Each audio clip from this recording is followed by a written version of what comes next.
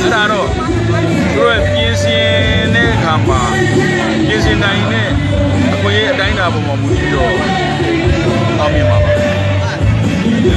အများကြီးပြင်ဆင်စရာကျွန်တော်တို့ပါတီနဲ့ဆို168ချက်နောက်ထပ်မပြီးတာပါအဲ့တော့အဲ့ဒါတွေမြန်မာပြည်နိုင်လေမြန်မာအောင်ပြည်ဖြစ်ဒါပေမဲ့ပြင်ဆင်နိုင်ဝင်အတိုင်းအတာနဲ့ခွေးရတော့ဖမ်းလို့မရဘူး ဘူးဘုရားတရားတော်ကြီးဒါလည်းဥပဒေကြီးသင်္ကေတကိုစွမ်းပါရန်လေးကားတော်ဖိတ်ခေါ်ကျွန်တော်တို့တော့ဆိုတော့မှလောကကဲရတာမှကြီးလန်းပူပြီးတော့တွတ်တွတ်လန်းလိုက်အောင်ဟိုဖြစ်နေတဲ့နည်းနည်းဟန်သားတွေရတာရှင်းမှဆုံးဒါတော့ဒီပြောင်းစစ်ပြီးတော့လုပ်နေပြီးတော့ကျွန်တော်တို့ကဒီဘိုင်းဝန်းပြရတယ်ဒီအားပေးတဲ့ဘောပါဟောပါ constitution ပေါ့နော်ဖွဲ့စည်းပုံအခြေခံဥပဒေဆိုတာနိုင်ငံရဲ့တကယ်အသက်ပါ ဒါနဲ့ကျွန်တော်တို့နိုင်ငံပြည်သူတွေစီးပွားရေးတွေနိုင်ငံစတဲ့ဒါတွေပြည်သူတွေတော့လုပ်ပါဒါမှမဟုတ်ဒီကျွန်တော်အနေနဲ့ပြည်သူတယောက်အနေနဲ့ပဲဒီဖွဲ့စည်းပုံအခြေခံဥပဒေပြင်ဆင်မယ်ဆိုတော့ဒါအကျိုးထောက်ခံပါတယ်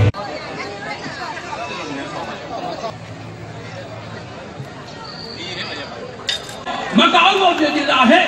ဒါပဲတော့ရှင်းရှင်းအာဒါကြောင့်မလို့အားလုံးပူးပေါင်းဆောင်ရွက်ပြီးတော့လေ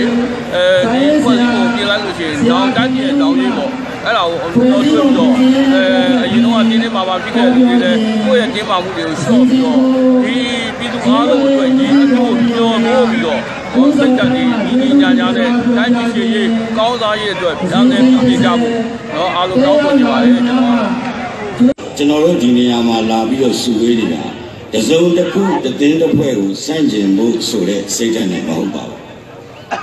တစုံတစ်ခုတစ်သိန်းတစ်ဖွဲ့ကိုစန့်ကျင်တယ်ဆိုတဲ့စိတ်ဓာတ်ကအင်မတန်သေးမွားတယ်လို့ကျွန်တော်တို့ယူဆလိုက်ကြရအောင်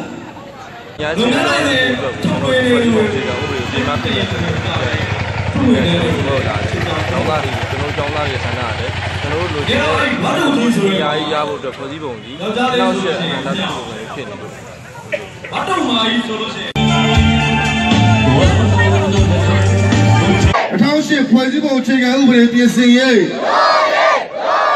2008ဖွဲ့စည်းပုံပြင်ဆင်ရေးပူးပေါင်းကော်မတီအား2008ဖွဲ့စည်းပုံပြင်ဆင်ရေးပူးပေါင်းကော်မတီအားအားလုံးကိုကျေးဇူးတင်ပါတယ်ခင်ဗျာ